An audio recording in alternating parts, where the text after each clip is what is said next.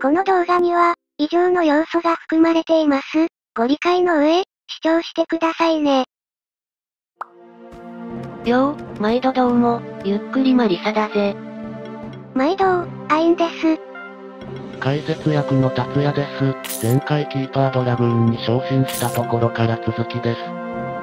チャンピオンも残りわずかってところだな。ひとまず増えた商品を確認していきましょうかね。舵や横だと、宝石と鉱石が全部解放されてるかな。お値段もそれなりなので、買いすぎると危ないですけどね。とりあえず、メインで使ってる奴らのはプラス5にしておきたいな。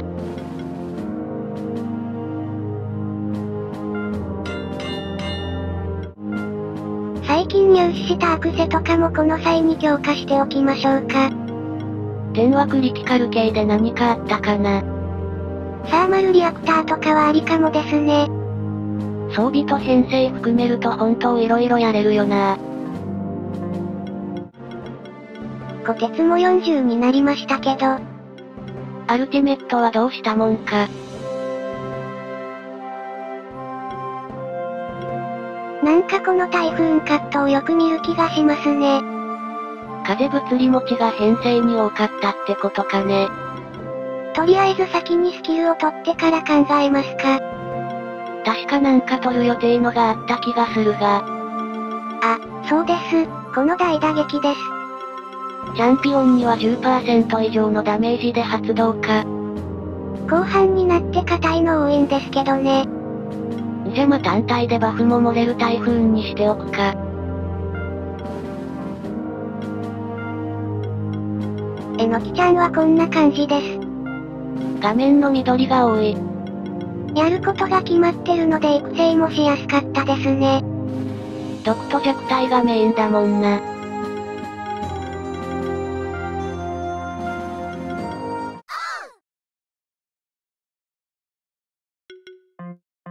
装備もプラス5にしたし、こいつにも再挑戦だ。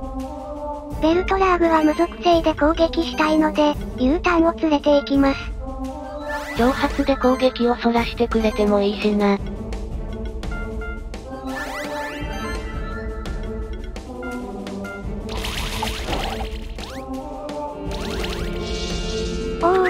開幕でバフを3枚剥がされました。こいつ相手はこれが厄介だな。そうなんですよね相手にシールド技あるし、これまた長期戦だよな。成長バフもあるので、そこが怖いところですねあ、そうだ。U ターンのアルティメットは物理単体のこれだぜ。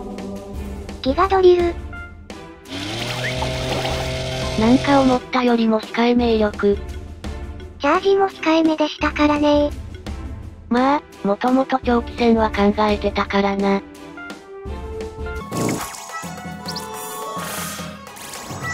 U ターンがかばってくれれば、チャージも増えて一石二鳥。ギガドリルやる前にアイテムとかで茶を濁してもいいかもな。ポーション強化のパッシブはさすがに取ってないですけどね。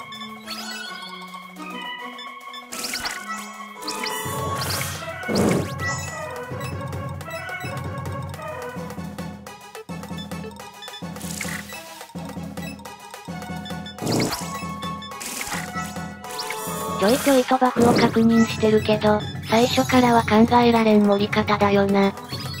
自分もですけど、相手も大量にありますよね。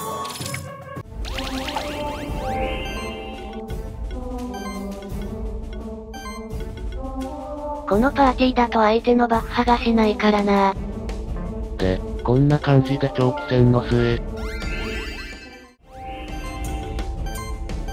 現在14ターン目だぜ。水丸は一度やられて成長がリセットされました。いい加減にこいつでとどめだ。良いダメージ。ビクトリー。あれ？案外星4取れてるのか。レアアクセは砂時計。長期戦にふさわしい報酬だな。いやー、本当に時間かかりましたね。チャージさえ溜まってれば、U ターンはかなり威力も出るんだよな。挑発次第で色々変わりますよね。って、星5を取れてないからここはもう少し後だな。残念。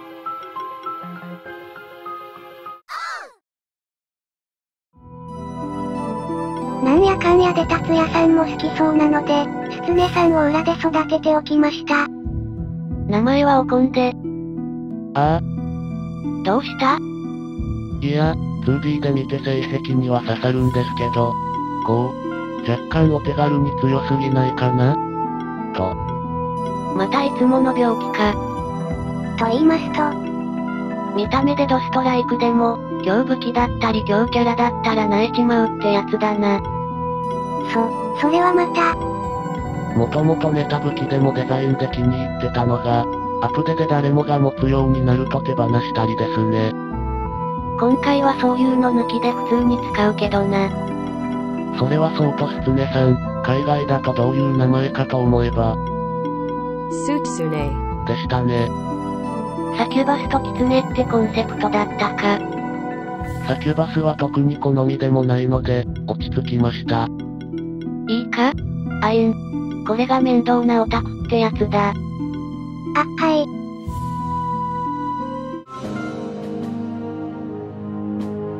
というわけで、スキルを振り終えたぜ。基本的に出血をメインにして、相手からバフを奪うのをしたいですね。シフトはまだ見てないから、どっちにするかね。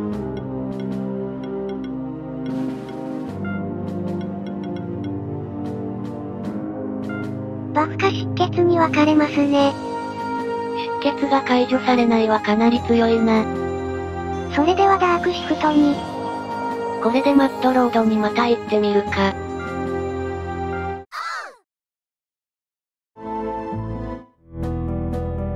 会話はパパッてなわけで、戻ってきたぜ。と。メンバーはどうしますかねとりあえずこのまま試すか。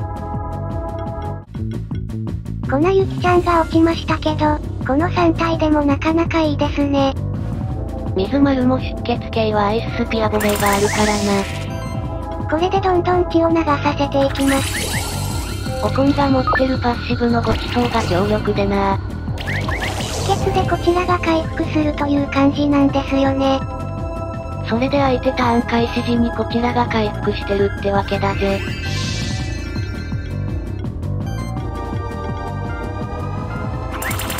ミスでも相手のバフは奪えます。これがまたえげつない。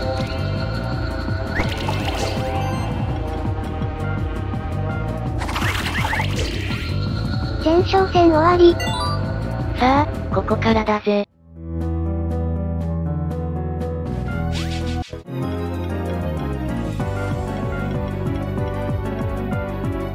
今回は水丸を下げて、スエキちゃんで、魔法使い強化のオーラがあるからな。スツネのオコンさんも魔法使いなので、開幕シールドをもらえます。これに粉雪のシールドを貼れば、この通り開幕からマックスシールドってわけだ。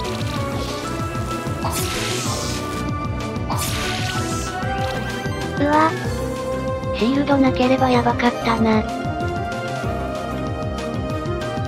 ーん。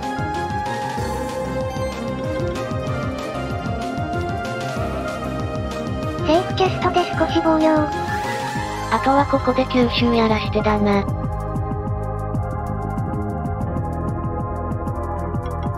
オコンさんは攻撃で回復できるので、オーケー。あとは、末液で感電もプレゼントしておくか。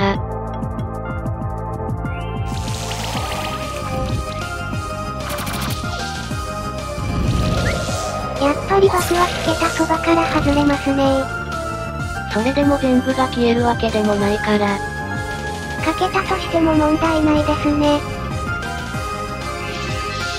おこんはガチのヒーラーでもないから回復量は控えめだな。状態異常を取るくらいですね。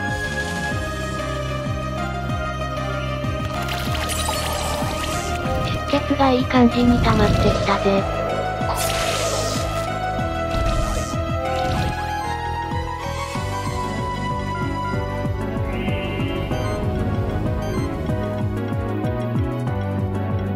リズムは単体向きではないので、こういう時は悩みますね。4属性で派手だし、好きではあるんだけどな。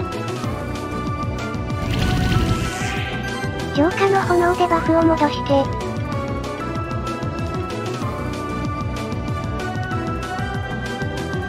相手の出血も気づけば26か。ここからまだまだ増えますよ。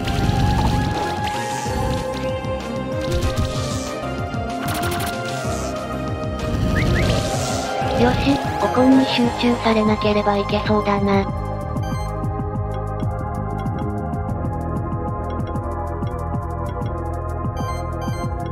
念のためここで追加のシールド。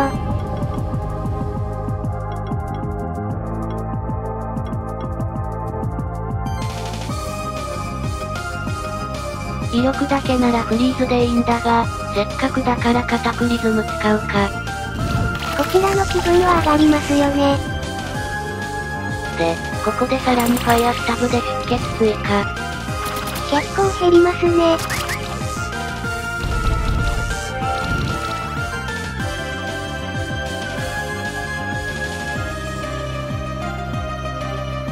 こっちのデバフも重なってきたな。セーフキャストで少し剥がして、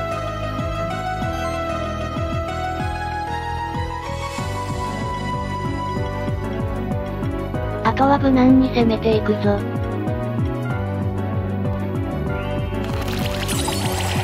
良い追撃です。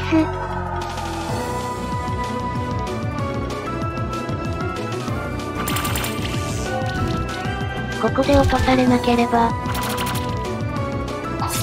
よしよし、それでも、おこんの体力結構減らされたな。念には念を。いろいろと取れたぜ。そして、これでとどめです。ビクトリー。7ターンか、案外マシな時間で終わったな。パフォーマンスは低めでしたね。お、星4だからレア装備あるな。おや？マットアイの卵があるということは、星5報酬は卵じゃなくて進化系アイテムか。何？まだ立っているだと。愚かな生物め。そう簡単に勝てると思うな。喋っているのか？いや、こいつ直接脳内に、そのものの意識を乗っ取った暁には、その体を新たな器としよう。さすれば、我を止められるものはこの世に存在しなくなる。ウィルさん、割ってよいのか。ジュリアさん、レオナルドさんも、おお、みんなのファミリアが戻っていったぞ。よかったです。貧弱な人間おときが、我のしもべとなる以外に、貴様らの価値はない。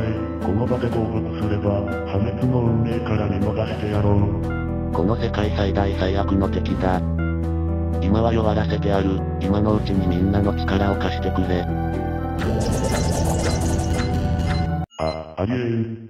なぜ、我に従わないのだ。理解でき。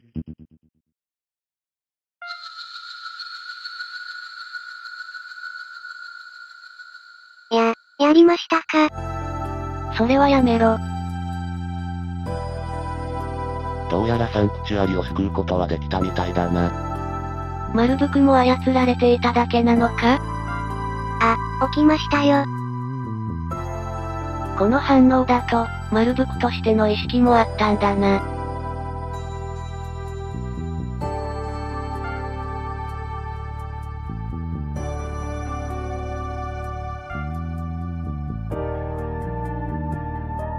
千里眼みたいなもんか。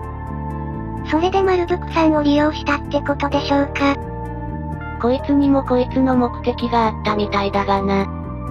やっぱり、サンクチュアリが牢獄という意見みたいですね。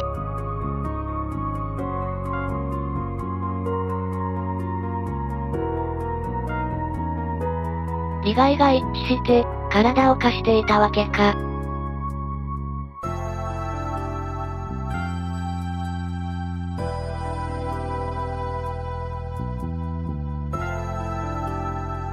ん。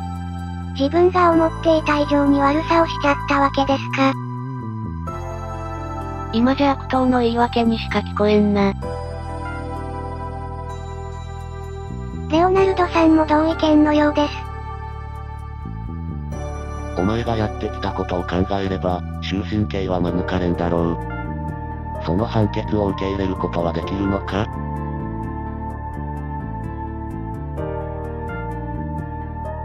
レ、レオナルドさんがとても正論。ダメだ、軽率に命を奪うようなら、奴らと同類だぞ。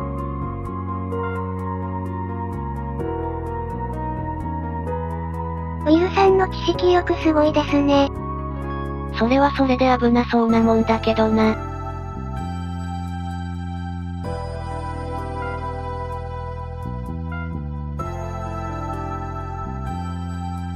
こうしてアイン、ジュリア、レオナルド、ウィル、そして4匹のスペクトラルファミリアの活躍でサンクチュアリの平和は保たれた。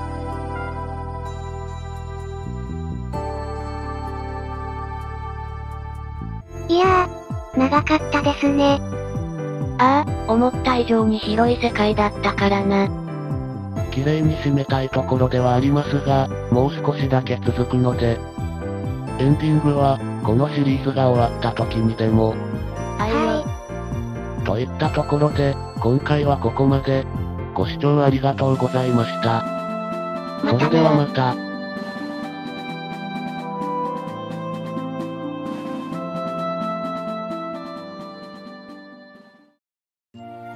よろしければチャンネル登録、高評価をいただけるとモチベージにつながります。それではまた次の動画で。